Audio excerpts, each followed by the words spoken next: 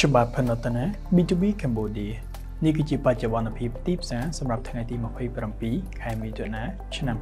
2024សន្ទុះផ្សារមូលបត្រកម្ពុជាបានកើនឡើងនៅថ្ងៃនេះដោយ1.21ពិន្ទុឬ0.29%ដល់412.24ទំហំជួញដូរសរុបគឺនៅស្រាលខ្លាំងដែលមានត្រឹមតែ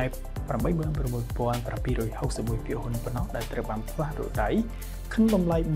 385លានរៀលឬប្រហែល93,700ដុល្លារអាមេរិកនៅលើផ្សារគោលភាគហ៊ុនចំនួន5បានឡើងថ្លៃជាមួយនឹងភាគហ៊ុនរបស់ក្រុមហ៊ុន Plastic Company PLC បាននាំមុខទីផ្សារ ពោលគឺបានកើនឡើងពី79%ឬ60រៀលទៅ2210រៀលក្នុងមួយហ៊ុន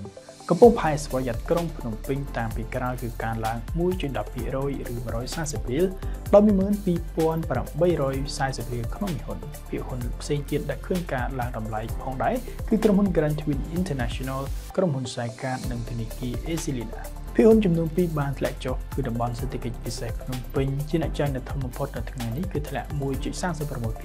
ឬ30រៀលមកនៅ2180រៀលក្នុងហ៊ុនចំណែកភាគហ៊ុនដែលចុះថ្លៃផ្សេងទៀតគឺរដ្ឋកោទឹកស្វយ័តក្រុងភ្នំពេញ ធ្លាក់ចុះ0.29%ឬ20រៀលមកនៅ6940រៀលក្នុងហ៊ុនភាគហ៊ុនចំនួន2ដែលនៅសេសសល់នៅលើផ្សារគោគឺកំពុងផែសូយ៉ាត់ក្រុងប្រសេនុនិងមេលីជេគុយ Education នៅរក្សានៅតម្លៃដដាល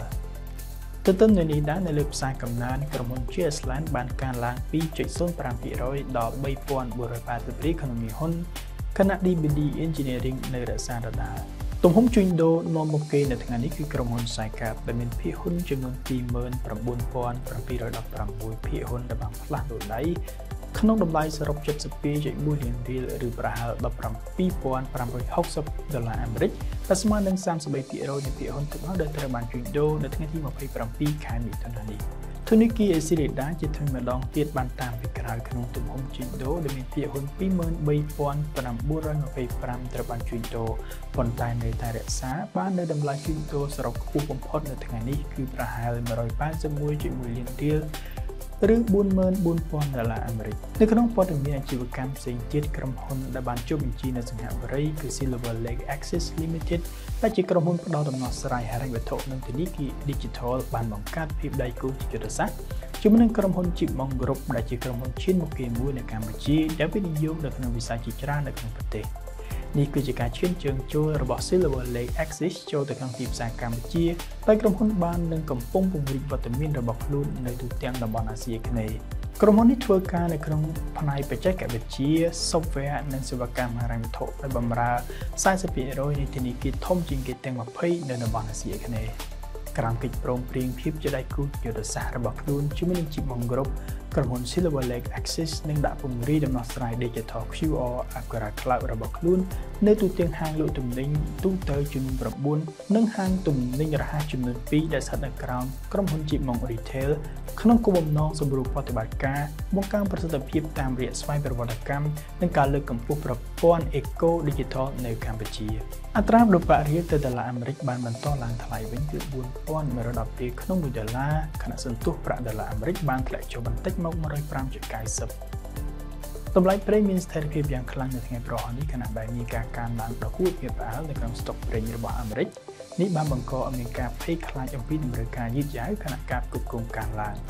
យ៉ាងណាមិញនេះផ្ទុយអំពីការព្រួយបារម្ភមួយទៀតគឺអំពីភាពរអាក់រអួលនៃការផ្គត់ផ្គង់ប្រេងដែលបង្កឡើងដោយចំនួនកាន់តែខ្លាំងនៅតំបន់មជ្ឈមបូព៌ា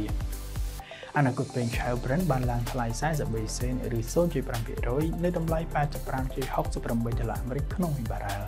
តម្លៃនេះបានកើនឡើងខ្ពស់បំផុតដែលមានការចាប់អារម្មណ៍លើទីផ្សារទិន្នន័យអតិផរណាសំខាន់សំខាន់របស់អាមេរិកដែលផ្ដល់សញ្ញាអំពីការផ្លាស់ប្ដូរអត្រាការប្រាក់បន្ទាប់របស់ធនាគារកណ្ដាលអាមេរិកមីជួញដូរភ្លាមភ្លាម spot gold កើនឡើង0.2%នៅ2303.80ដុល្លារអាមេរិកក្នុងមួយអោនបន្ទាប់ពីបានធ្លាក់ចុះដល់កម្រិតទីបំផុត ចាប់តាំងពីថ្ងៃទី10ខែមិថុនាអនាគតមាសរបស់សហរដ្ឋអាមេរិកបានកើនឡើងខ្ពស់0.1%ដល់2313.40ដុល្លារអាមេរិកភាគហ៊ុនអាមេរិកបានធ្លាក់ចុះនៅថ្ងៃប្រហោះនេះគិតត្រឹមម៉ោងបិទផ្សារនៅកម្ពុជានៅក្នុងទីផ្សារអាស៊ីភាគច្រើននៅមុនរបាយការណ៍អតិផរណាដ៏សំខាន់របស់អាមេរិកដែលនៅផុតកំណត់នៅថ្ងៃសុក្រដែលនឹងចង្អុលបង្ហាញផ្លេចឈ្មោះទៅមុខសម្រាប់គន្លងអត្រាប្តូរប្រាក់សន្ទុះធ្លាក់ចុះជាង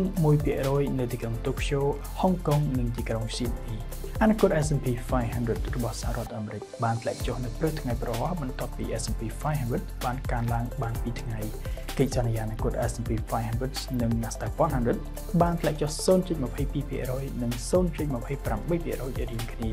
អនាគត Dow Jones Industrial Average បានធ្លាក់ចុះ72ពិន្ទុឬ0.18%អរគុណសម្រាប់ការទស្សនានេះគឺជាបច្ចុប្បន្នភាពទីផ្សារប្រចាំថ្ងៃរបស់ B2B Cambodia thank you